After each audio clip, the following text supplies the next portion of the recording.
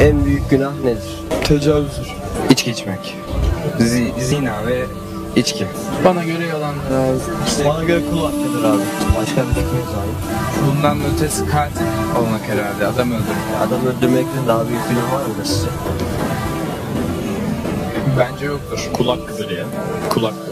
Hani babaanne olarak geçiyor musunuz hiç? Yok. Biliyor musun? Bilmiyorum. Ben söyleyeyim? Söyle abi. Kur'an'da şirk olarak geçiyor. Peki şirk nedir? Bilginizi alın.